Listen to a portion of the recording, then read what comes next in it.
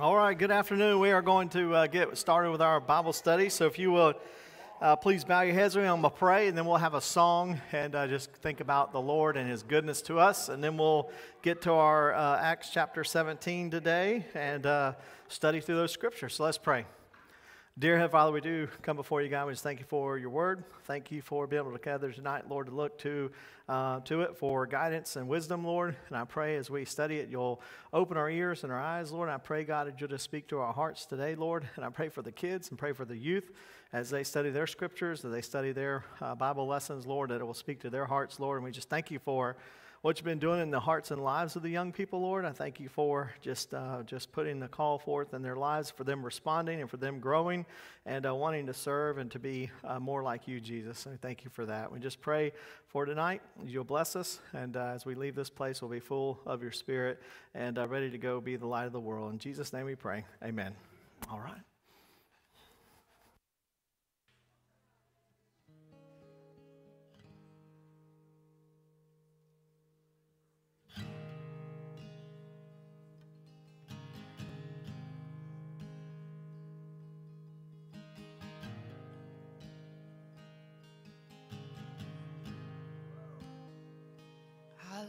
You, Lord. Oh, your mercy never fails me. And all my days I've been held in your hand. From the moment that I wake up until I lay my head, oh, I will sing of the goodness of God.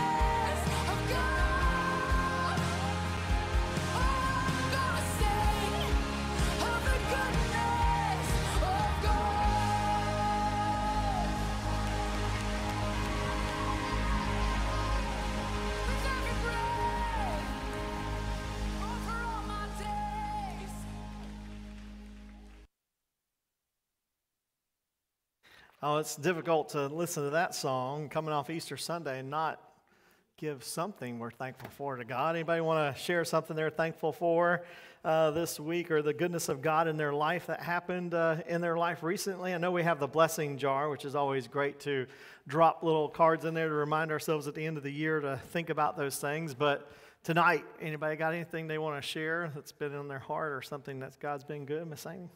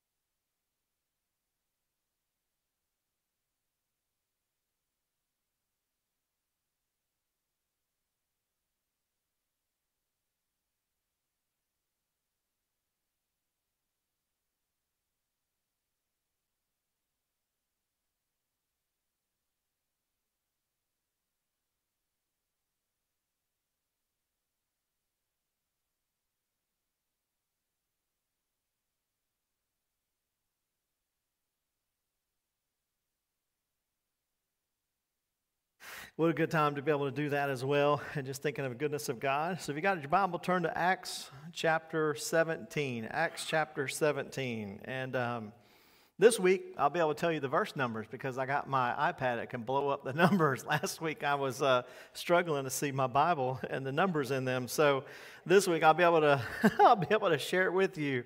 Uh, Acts chapter 17. Uh, we have journeying on our way through the book of Acts. And uh, by the way, Sunday we'll be back in Hebrews. So we'll be back to Hebrews chapter 11 and uh, got a couple more uh, finishing up through there. Then in May we'll have um, graduation Sunday on the 7th. We got Mother's Day on the 14th. And then we'll be cruising our way into summer already. So pretty amazing how fast it goes by. And uh, be praying for our four graduates as well. I'll be praying for them, for uh, Miss Brooke. Um, um, Miss Brooke Barrett, who'll be graduating from Clay High School. Um, of course, Tanner Owens will be graduating from Creekside. Then Trey King will be tra- graduating from Bartram. And then Morgan Craven graduating from Bartram as well. So we got four this year heading out into the real world, I guess they say, right? And uh, be praying for them and uh, praying for that service, be excited for them. Uh, but uh, we'll be working our way through uh, Hebrews until we get there, and I'll be having a special message on that day, obviously. And then, uh, so, but we'll be in the book of Acts for a while, uh, quite more longer. So if you can read ahead in the days ahead and all the way through um, the end of the book of Acts, we'll not um, do that. But in June, uh, Mr. Jamie's going to be teaching some in the book of, and, uh, and uh, talking about some things in culture and things how we respond to gospel, with the gospel. So that would be a great time to be coming over the summer as well. But uh, Acts chapter 17. Uh, in your Bible, we uh, continue in our path. Paul is on his second missionary journey, and uh, he has traveled around, came back. Now he's going back around again and uh, going to different areas. And um, last week and the week before, we talked a little bit about the Macedonian call. And uh, I just personally, uh, just praying today about my life and about this church, just so encouraged by the Macedonian call that God has people who need to hear the gospel, and then God calls you to do it. And the question is, are you going to be obedient to do it or not? And that's what Paul, he answered the call. He answered the call, and he went. God called, he went, he began to share the gospel. And of course, you know, uh, Paul throughout the book of Acts, as we have learned on these missionary journeys, first thing he would do is make a beeline right for the temple. He would begin to reason with the scriptures, with the Jewish people in the temple. And uh, at some point, they would get tired of hearing him. Uh, at one point, it even said they stopped their ears and ran screaming away from him, and then they would chase them out of there. And then the Gentiles would say, Hey, what about us? Can you come preach to us? And so then he would go outside of the city gates and he would begin to preach to the Gentiles, and then they were saved, and many were saved. And then the Jews would be so upset they would go back and attack Paul and they would, you know, beat him with rods, and they would, uh, you know, try to stone him, and they would do all sorts of things and throw him in prison and throw him in uh, all sorts of, uh, do all sorts of things to him. But yet, what you keep noticing about Paul is he never gives up. He never gives up.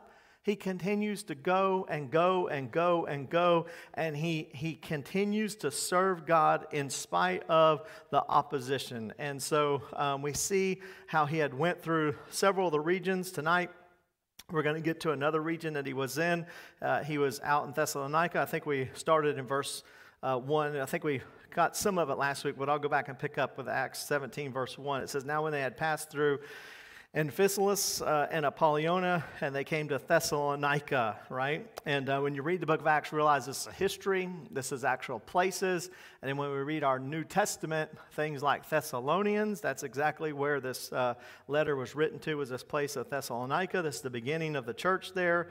Uh, then uh, as, as there was a synagogue of the Jews, then Paul, as his custom was, went into them, and for three Sabbaths he reasoned with them from the scriptures. And I love how it always says from the scriptures, right? Uh, for those that follow modern day Christianity and those who teach and uh, preach theology, um, there's a big movement right now from a mega church pastor that says you have to unhitch Christianity from the Bible, that the Bible um, is a storybook, but it is not something you can use to prove that God exists or that the gospel is true. And so the Bible is a resource and not a source. But and he quotes people like Paul. Paul did not have a Bible like you and I have. But certainly Paul had scriptures, and certainly Paul had the first five books of the New of the Old Testament. He had the prophets, he had some of the writings, and so there was well enough that every time Paul comes, he always reasons from the scriptures, and the scriptures and the Word of God attest to themselves, and so they don't need any propping up or they don't need any pushing forward. And if you don't reason from the scriptures, then you have relative truth. And what happens when you get relative truth? What, what is true for you may not be true for me. What's true for me may not be true for you. So you like your truth, and I like my truth.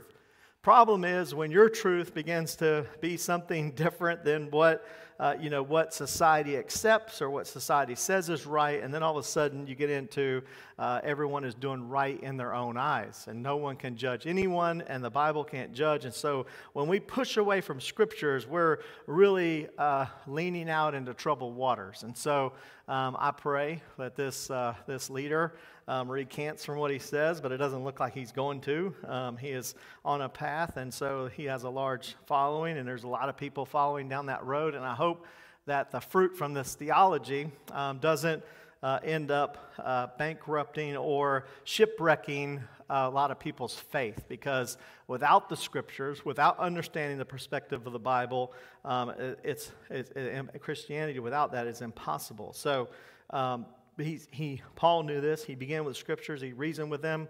Verse 3 explaining and demonstrating that the Christ uh, had to suffer and rise again from the dead, and saying, This Jesus whom I preach to you is the Christ. So interesting that we just went through Easter, and uh, I said this before that the American church um, really gets so excited about the incarnation, about Christmas uh, these New Testament believers, they were far more excited about Easter than they were Christmas. They were excited about the resurrection. They were excited about this, uh, fe- this, this, this birth of, of Christ, not only just the birth of Christ, but Him dying and Him was resurrected. And He's saying, This is the day I'm demonstrating you that He was this person, He was the Christ.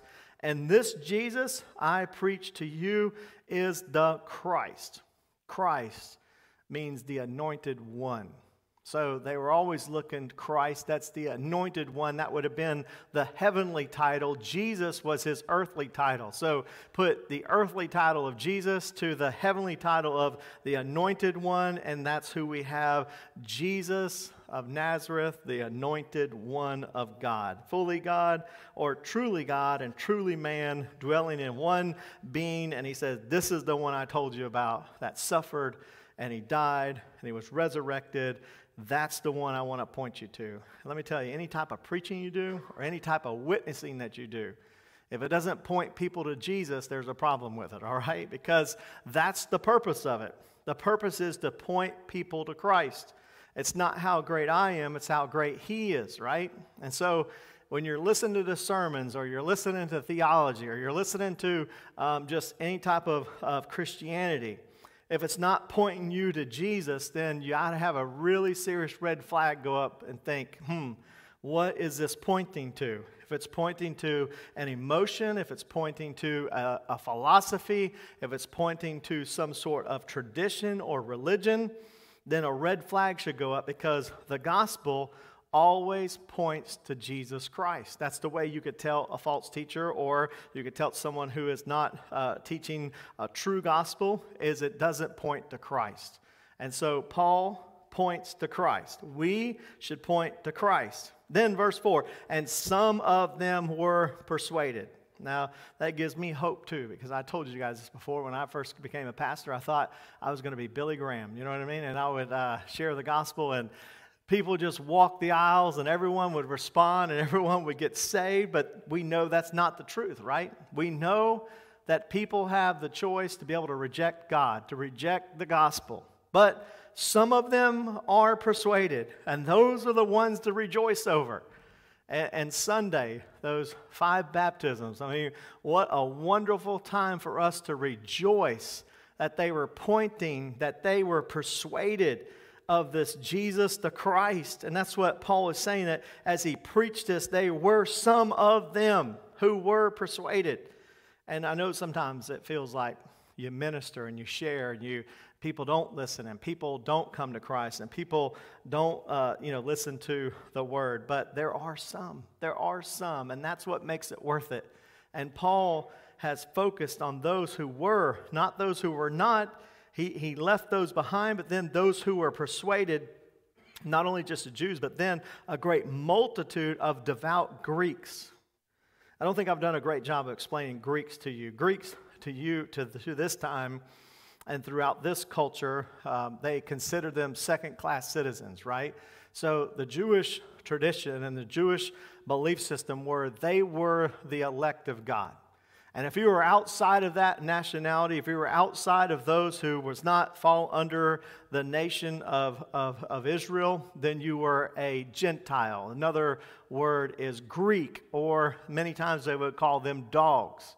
They wouldn't even call them human beings. They would look and say, they're outside of the covenant of God. Only we are the elect. And so here, now we see the gospel, and we see this transition happening in the book of Acts that the gospel began in Jerusalem, but then it went to Judea, Samaria, and to the ends of the earth. And so now, when Paul is sharing the gospel, the majority of the people getting saved now are not nationality of the Jewish nationality, but they are of Greeks, they are Romans, they are of those of the whole area, of those who were um, not of the faith. And so these were those who were devout Greeks as well, and not. And then, uh, and then as well, and not a few of the leading women joined Paul and Silas. And so you can see this gospel. It's going, it's producing fruit. Paul is working, and he is also preaching. He's reasoning in the synagogue. Uh, but verse 5 But the Jews who were not persuaded, became, becoming envious, took some of the evil men from the marketplace and gathering a mob, set uh, all the city up in uproar and attacked the house of Jason and sought to bring them out to the people. Here they come, right? They were upset again with Paul. They began to uh, gather up a group of people and they took evil people from all over the places isn't it amazing how you can't get evil people to get along with one another, but when it comes to something against Christianity or Christ, how they unite so well together? You know what I mean? It's like you, you people are evil and you can't even get along. You hate each other, but there's a greater hatred for the things of God than they have a hate for one another. And they group up and they come together and they get a mob because they were envious, because they were upset, and they were not persuaded. And so what do they do? They attacked.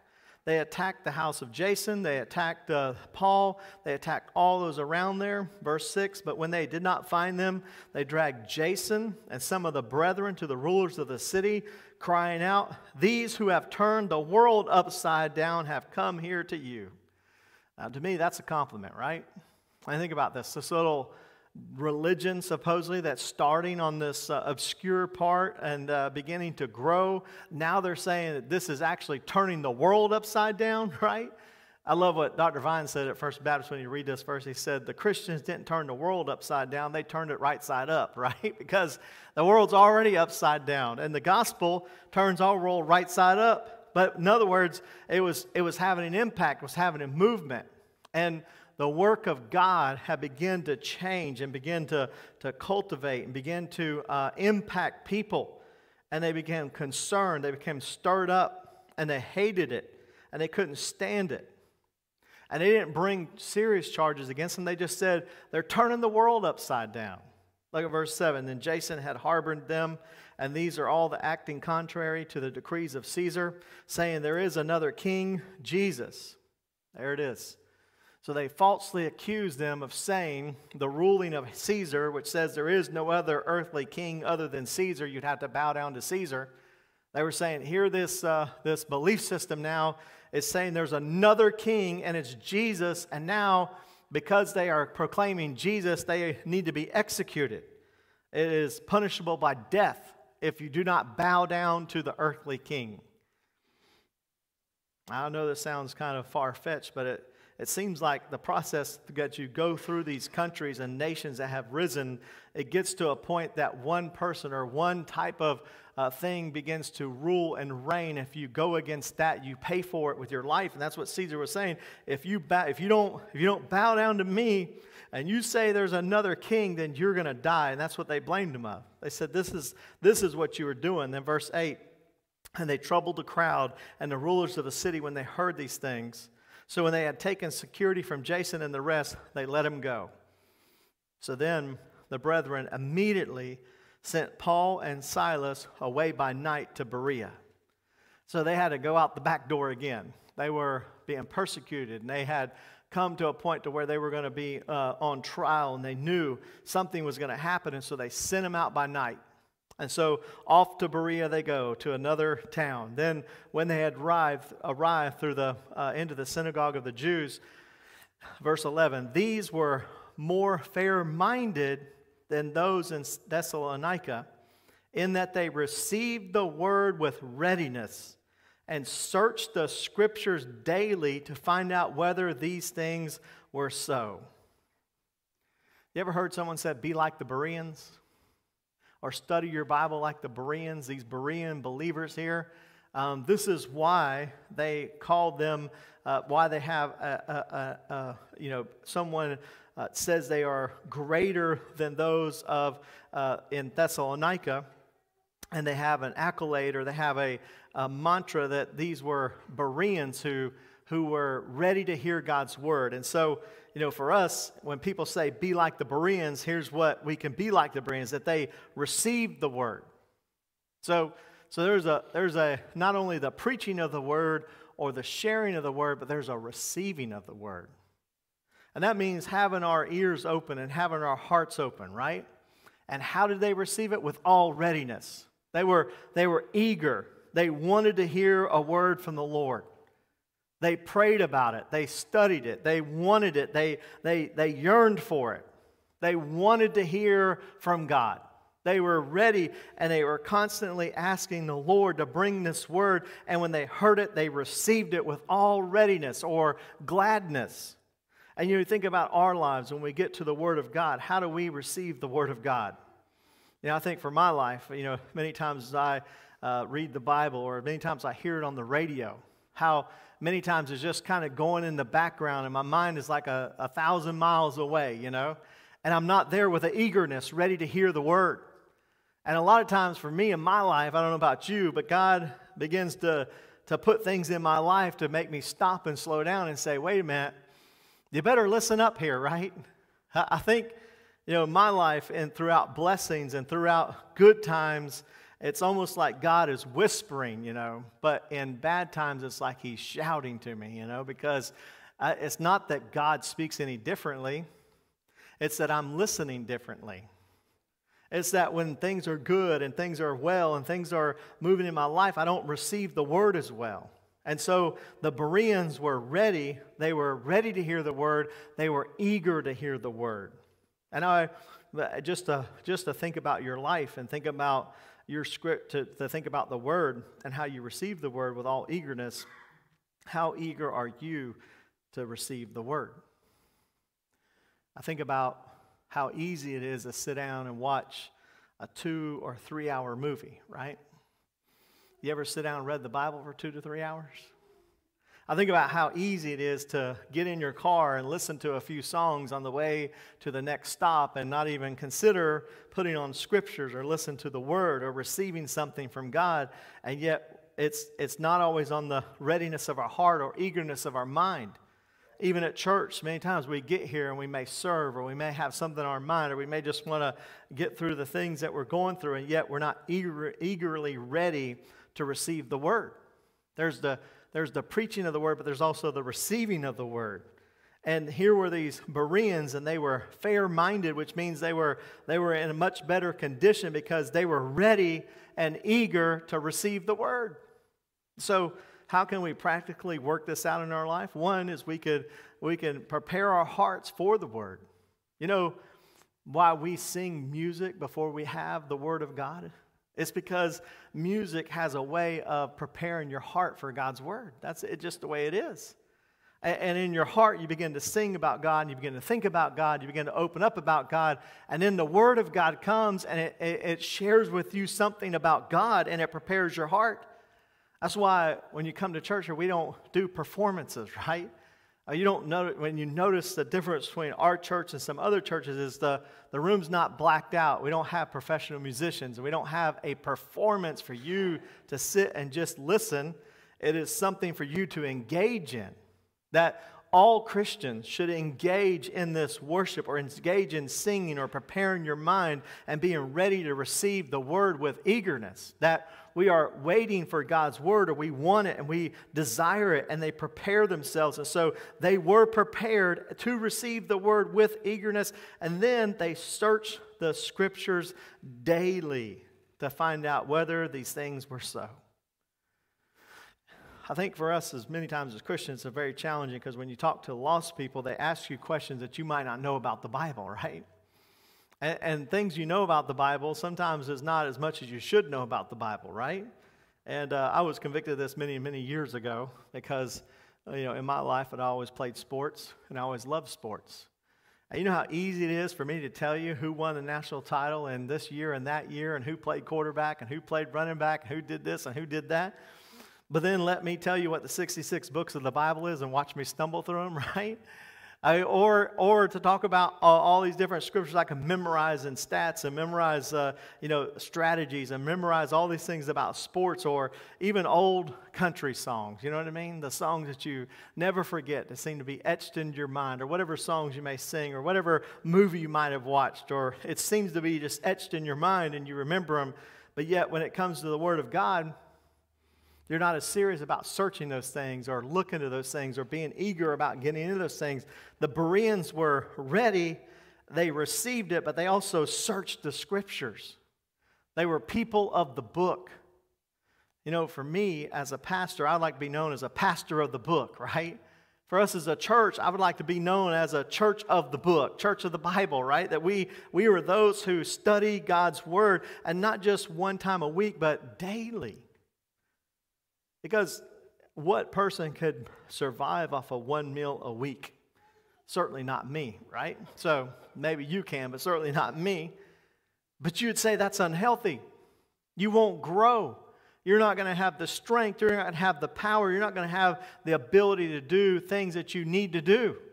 Well, think about the scriptures. If you only eat one time a week when you come hear a sermon, how strong you think you're going to be? Not very strong, but if you get into God's Word daily, that means every day trying to search the scriptures and learn about God and just read His Word and to study it and to go back and find out whether these things are true or not. That's why it's important, you know, when I preach from the Bible, that I tell you to, that I can't preach from the New King James Version, for you to get a Bible for you to mark your Bible, to put your Bible, to make notes in your Bible, to, to, to mark it on your phone or put a highlight because you need to go back to them not just one time, but daily. And to find out is what I'm saying true? Is what the Word of God says? Is what Paul was saying was true? And so they searched the Scriptures with eagerness and they received the Word of God with readiness, all readiness. I love that part about the Bereans. And what happens? Look at verse 12. Therefore, many of them believed. And also, not a few of the Greeks, prominent women as well as men. So they all believed. It was fruitful. But when the Jews from Thessalonica heard that the word of God was preached by Paul to Berea, they came also there and stirred up the crowds.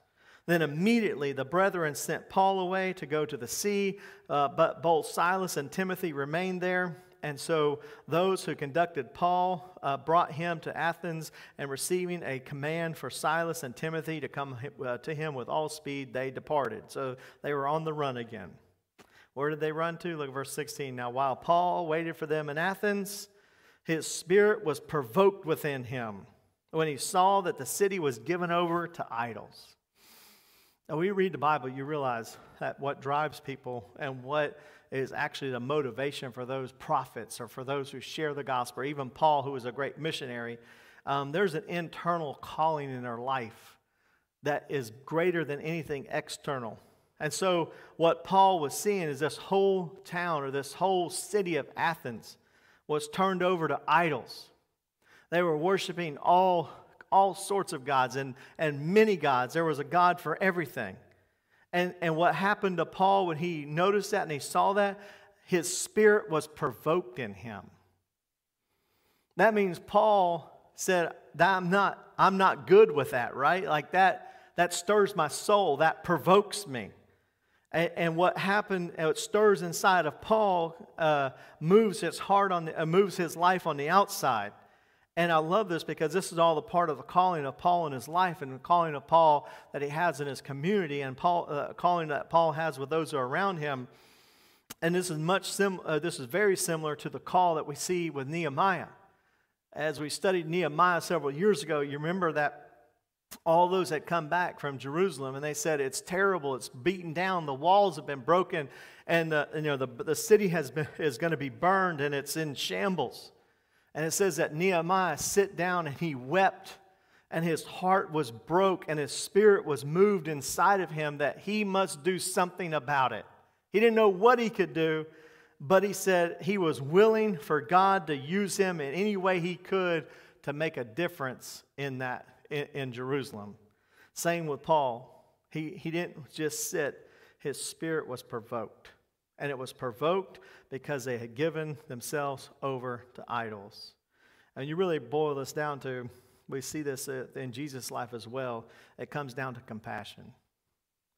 You know, having empathy for someone or sympathy for someone is just feeling sorry for them. Having compassion for something, someone or something means not only do you feel it for them, but you're, you're, you want to do something about it. You are moved to do something about it. And the same word here, provoked, it doesn't just mean a, a mental assent of being sorry, it goes further than that. That he was sorry, but he was going to do something about it because he saw the city was given over to idols and he knew the path they were on and it broke his heart. He was moved with compassion like Jesus when he came into Jerusalem, as we were studying the descent of the last time Jesus came into Jerusalem. You would think Jesus knew he was going to go there to be betrayed, to be crucified, to die on a cross. And yet, when he got uh, through the valley and looked up through Jerusalem, he looked over and he said, I, I weep because they are like sheep without a shepherd. That's compassion. That's moved with compassion in our life, many times why we don't share Christ is because we don't, we don't have a lot of compassion for people. You know, I think in our culture today, we desensitize ourselves from humanity, right? And uh, I, think it's important for us to think about this because uh, this is something that impacts our culture. Is that people have has is so desensitized from desensitized from reality that what is on social media is more real to them than actual reality in their life. And so they, they, they live their life in a world that doesn't exist. They live a life in a world that they can, they can be a part of whoever they want to be and do whatever they want to do, and, and they're not really tied to any reality or any human being. And so, through that process, you could become very hateful you could become very angry. You could become something that, you know, that you can, you can hate people you never even met before. And you become cold and you become calloused. And then when you do meet someone in reality, your heart is still the same and you have no compassion for them. You don't care for them. You don't have any, any sort of movement in your heart for them, no love for them. And, and, and in our society as well, I think many times we get and we look and we listen to the news and we listen to social media and we listen to people talk and we get to a point where I don't even like this person or I can't stand this person or I hate these type of people. And in all reality, we've never even met them before. We've never even had anything to do with reality in their life. But I can promise you, if you want your heart to be moved, start talking to people and investing in people's lives, and you won't, you can't help be, but be moved with compassion for them. When you start seeing their life and you start seeing what's happening in their life and you start having compassion for people, and just like Paul, he loved people. He wanted them to come know Christ, but he saw this whole city, they were given over to idols, and he was moved or he was provoked in his heart. Then I would ask for us in our world today, are, how much compassion do you have for people without Jesus Christ? I think it's easy to throw out the titles. It's easy to throw out the names. It's easy to, to, to, to throw out all those things. But seriously, how, how much compassion do we have to, to try to share the gospel with them? To try to point them to Christ, to have some sort of love for them in your heart for them. And, and yet, Paul never lost that compassion. That was part of his calling. And I think in our life, when we lose that compassion, we, we begin to lose our mission in life. It's much like when you're married or much like when you have a relationship for any length of time, the longer you go, if you're not careful, the passion and the, and, and, and the love for one another will begin to fade away rather than getting stronger. And if you don't work at it, you don't, you don't put time into it, you don't invest in it, next thing you know, you, you're with the person for a long period of time, and the one you're supposed to love the most, you end up loving the least because you have no care, you have no compassion for them because you didn't keep your heart pure and you didn't keep your heart full of compassion for them. Same with us with the lost. We ought to look to the world and see lost people, and we should be moved with compassion, and that compassion should move us to the mission, the mission of sharing Christ. And Paul was always moved by the internal, he was always moved by his calling, always moved by his compassion. He saw them, they were given over to idols. Look at verse 17. Therefore, he reasoned in the synagogue with the Jews. He said, I'm going to do it again, right? He went to the Jews' synagogue, he went to the Jews and with the Gentile worshippers in the marketplace daily with those who happened to be there. Then certain Epicurean and Stoic philosophers encountered him. And some said, What does this babbler want to say? I don't know what really the word babbler means there, but it doesn't sound very endearing, right? Probably not something you should call your wife or your daughter. They're babblers, right? But anyhow, they're like, here's, here's this babbler, right? What is this guy who's talking this crazy? What does this babbler want to say? And others said he seems to be a proclaimer of foreign gods because he preached to them Jesus and the resurrection. They knew they had nothing, they knew nothing about this Jesus. They knew nothing about the resurrection. So they said he was a babbler. He was preaching this former, uh, this foreign God. Then we look at verse 19, and they look, they took him and brought him to the Areopagus, and saying, May we know what this new doctrine is of you speak, for you are bringing some strange things to our ears. Therefore, we do not. Uh, therefore, we want to know what these things mean. For all the Athenians and the foreigners who were there spent their time in nothing else but either to tell or to hear something new. So they wanted to hear it. They were all about wanting to know what it was. They were telling Paul, "What is this crazy stuff you're talking about? Who is this Jesus? What is this resurrection?" Then Paul stood in the midst of Areopagus and said, Men of Athens, I perceive that in all things you are very religious. So he's like, You got that part down. You are religious. You want to seek something outside of yourself, but that's all it is. You're religious. And for I was passing through and considering the objects of your worship. So they had altars listed and they had known gods and they had all the known gods and they had hundreds of gods they were worshiping, all sorts of different kinds of worship. But then he said, I even found this altar with the inscription to the unknown God. So, so they were all worshiping their own God and then they even put one to the unknown God. He said, Therefore, the one whom you worship without knowing, him I proclaim to you God who made the world and everything in it, since he is Lord of heaven and earth, does not dwell in temples made with hands, nor is he worshiped with men's hands, though he needed us anything, since he gives to all life, breath, and all things. And he has made from one blood every nation of men to dwell on the face of the earth, and has determined their pre appointed times and their boundaries of their dwellings, so that they should seek the Lord and the hope that he might grant uh, that he might grope from, for, for him and find him, though he is not far from each one of us. For in him we live and move and have our being, and also some of you, uh, of your own poets, have said, For we are also his offspring. Therefore, since we are the offspring of God, we ought not to think that the divine nature is like gold or silver or stone, something shaped by art and man's devising. Truly, these times of ignorance God overlooked, but now commands all men everywhere to repent, because he has appointed a day on which he will judge the world in righteousness by the man uh, whom he has ordained. He has given assurance of this to, to all by raising him from the dead. And when they heard the resurrection of the dead, some mocked, and others had said, we, we will hear you again on this matter. So Paul departed among them. However, some men joined him and believed, among them Dionysius and Areopagite, and a woman named Damaris, and others with him. So Paul's sermon, he preached them, right? Where did Paul begin with? To this unknown God. You know what that means? Everyone searching for God in religion will not find him there, right? When I say religion, I mean the world's attempt to reach God. You know why? Because religion can't reach God, right? The world cannot reach God. It never happens. And so, even in the midst of this very religious and very dedicated, and for those who are worshiping all sorts of idols, I mean, hundreds of idols, they were still empty.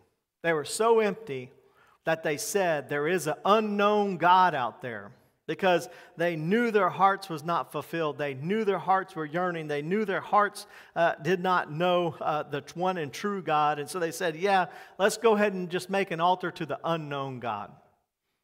So Paul says, I know that unknown God. That unknown God that you have written that, uh, that, that altar to, he said, I want to proclaim him to you. And I love, I love this because where does Paul start? Verse 24 God who made the world and everything in it. Does that not go back to Romans chapter 1? Romans chapter 1 goes back to the very beginning, and it says that for those who uh, had, had rejected God, rejected God not because they didn't know God, but they, because they chose not to know God, right? Throughout creation, uh, it has witnessed to all people that there is a God.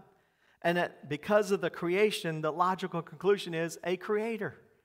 And he begins with that, and he says, That God who made everything and in it, he is the Lord of heaven and earth. He's the one. He's the one who you're looking for. He's the one. And as they look to the stars and they look to the things, and I don't know what it is about man, but through religion and through other processes, you know, they begin to worship the creature rather than the creator, right?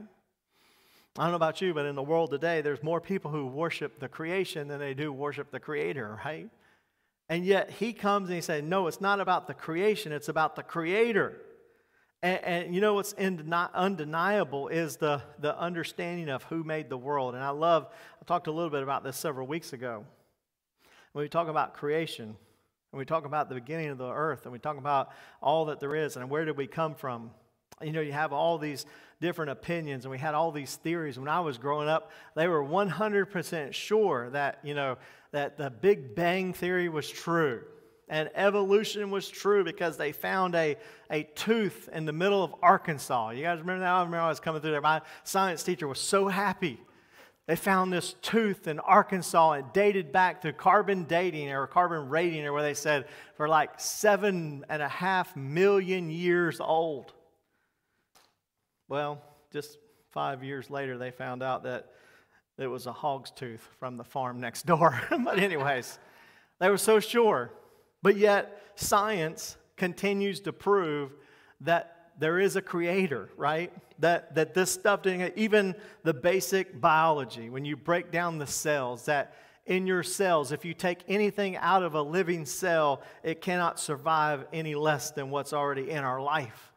So that means if you, de- if you deduct this down throughout, uh, throughout evolution and throughout the process of what they, what they said we come from and all these other things, it's not it's scientifically proven. It can't happen that way. And just like one uh, writer said, if there's a watch in a room, the logical conclusion is there was a watchmaker who made that watch, right? That's the logical conclusion. And when people see creation, the logical conclusion of their heart and in their mind and in of their, and of their conscience is there is a creator. That's why the Bible says the fool has said in their heart there is no God. Because it's not an intellectual thing, it's you coming to a point that you're saying that I know the facts, but I choose not to believe them anyways. And so that's what he's saying that this God is undeniable because you have seen him in creation. He's made the heavens and he made all these earth, and he is the one you should turn to. And through his life, he's made everything with has breath and all things. And he is to be worshiped and he, is, he has determined these things. In verse 27, they should seek the Lord in the hope that he might grope for him and find him, and that he might and he, that he is not far from each one of us.